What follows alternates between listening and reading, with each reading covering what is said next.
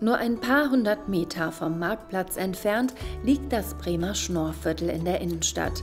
Der Name Schnorr stammt vom plattdeutschen Wort Snor und bedeutet Schnur, denn die kleinen Häuser stehen so eng aneinandergereiht wie Perlen auf einer Schnur. Und der Name passt deshalb so gut, weil auch die Handwerker, die Schiffer und die Fischer hier wohnten, die die Taue und die Seile fürs Schiffshandwerk fabriziert haben. Und deshalb passt der Schnur in zweierlei Hinsicht. Schriftlich wurde der Schnorr zum ersten Mal im 13. Jahrhundert im Zusammenhang mit dem Franziskanerkloster erwähnt. Im 14. Jahrhundert kam die dazugehörige Propsteikirche St. Johann hinzu. Diese zählt noch heute zu den wichtigsten Bauwerken des Schnorrs und wird liebevoll der kleine Vatikan im Schnorr genannt. Sie ist die einzige katholische Innenstadtkirche Bremens. Und äh, ja, nach der Reformation hat es ganz lange gedauert, bis diese Kirche der katholischen Gemeinde wieder zugesprochen wurde. Es war äh, zeitweise ein Irrenhaus, eine Lagerstätte und erst später wieder wurde es äh, eine katholische Kirche.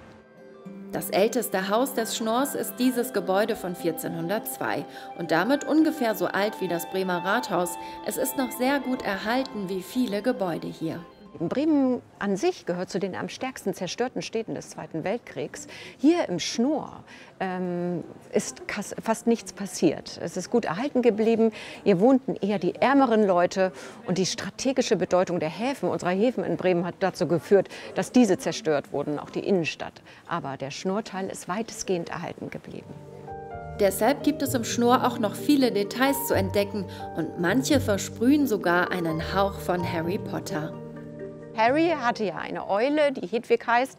Die Bewohner des Schnurs hatten auch Eulen. Die flogen durch diese Löcher, die wir hier oben in dem Haus sehen, rein und raus. Und die haben dafür gesorgt, dass Ratten und Mäuse gefangen werden, die hier sich im Schnur äh, zahlreich aufgehalten haben. Äh, ganz oben in den Stockwerken haben die Leute ihr Getreide gelagert, um es vor Hochwasser und Feuchtigkeit zu schützen. Ja, und da haben auch die Eulen gewohnt. Diese Hausvorsprünge sind typisch im Schnorr und heißen Utluchten. Sie sind früher aus einem bestimmten Grund gebaut worden. Das äh, war so, dass die Bewohner des Schnurs äh, Grundsteuer zahlen mussten nach der Größe des Hauses. Und sie haben versucht, mit diesen Ausbuchtungen ihr Haus zu vergrößern.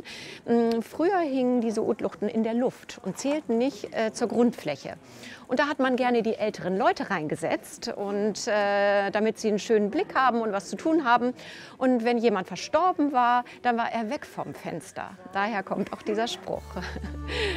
Erker hatten hier im Schnorr aber auch noch eine andere Funktion, denn bis 1838 floss die Balge, ein Nebenarm der Weser, mitten durch den Schnorr. Dann wurde der Fluss zugeschüttet. Die Balge floss genau hinter uns lang und war zur Gründung von Brems noch ein breiter Fluss. Aber man baute immer weiter an die Ufer heran, die Balge versandete, man schmiss sein Unrat hinein und hier sieht man auch, es gab Abtrittserker, durch die man, äh, in die man sich hineinsetzte und seine Notdurft direkt in den Fluss verrichtete. Also es war damals kein Privileg, am Wasser zu wohnen, so wie heute, sondern es muss unfassbar gestunken haben. Und dann hatte man Mitleid im 19. Jahrhundert, dann hat die Balge zugeschüttet. Nur wenige Meter entfernt steht das Birgittenkloster. Hier lebt Schwester Olga Maria mit sechs weiteren Schwestern. Olga Maria ist die Oberin des internationalen Birgittenorden.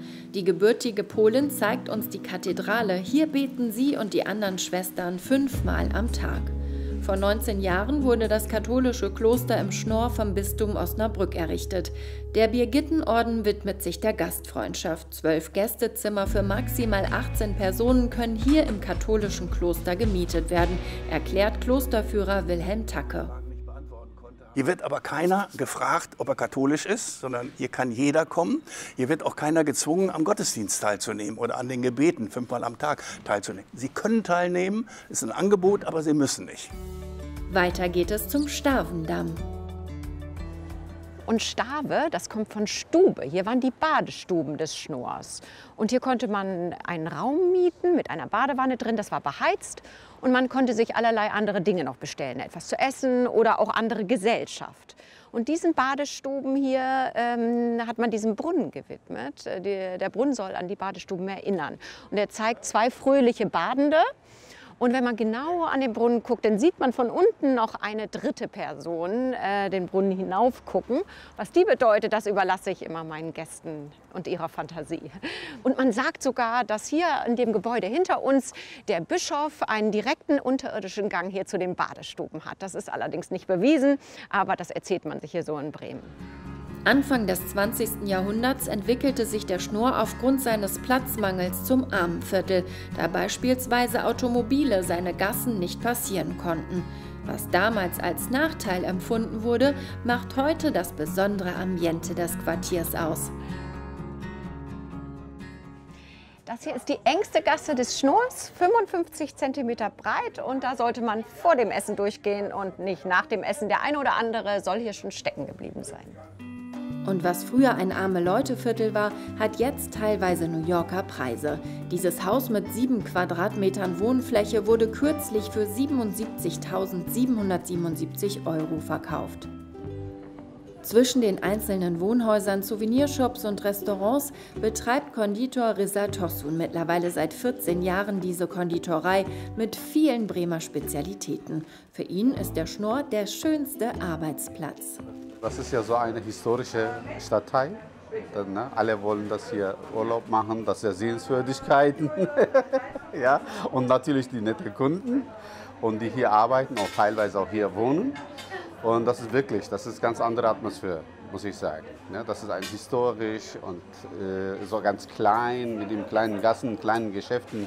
Es ist keine sozusagen Massentourismus und gleichzeitig auch keine Massengeschäft. Und das gefällt mir hier. Im Schnorr ist auch das Bremer Geschichtenhaus. Hier wird die Historie der Hansestadt anhand von Geschichten und Gestalten zum Leben erweckt. Zum Beispiel mit dem bekanntesten Bewohner des Schnorrs, Heini Holtenbehn, 1835 mit dem bürgerlichen Namen Jürgen Heinrich Keberle geboren. Er hat heute in jungen Jahren diesen furchtbaren Arbeitsunfall gehabt, danach das versteifte Bein, hat keine Arbeit mehr bekommen, hatte angeblich danach auch einen leichten Dachschaden. Hat sich mit Gelegenheitsarbeiten durchgeschlagen und dadurch kannte ihn auch jeder hier in Bremen. Irgendwie. Jeder Bremer kannte diese, diese Figur, diesen Menschen und ja, viele haben ihm wohl auch was Gutes gewollt, zwischendurch immer was zugesteckt, weil er war wirklich ein armer Teufel. Der hat wirklich auch nur auf so einem Hängeboden gehaust und ja, hat sich letzten Endes damit durchgeschlagen, dass er wirklich Zigarrenstumpen aufgesammelt, zerbröselt und als Pfeifentabak verkauft hat. Es geht sogar die mehr, er hätte die Pfeifentabak gestreckt. Mit Pferdekacke. Aber das ist nun Gerücht. Heute erinnert eine Bronzeskulptur an das Bremer Original. Und so lebt Heini Holtenbehn weiter, umgeben vom mittelalterlichen Fachwerk der mehr als 100 denkmalgeschützten Wohn- und Handwerkshäuser und der einzigartigen Atmosphäre des Schnorrs.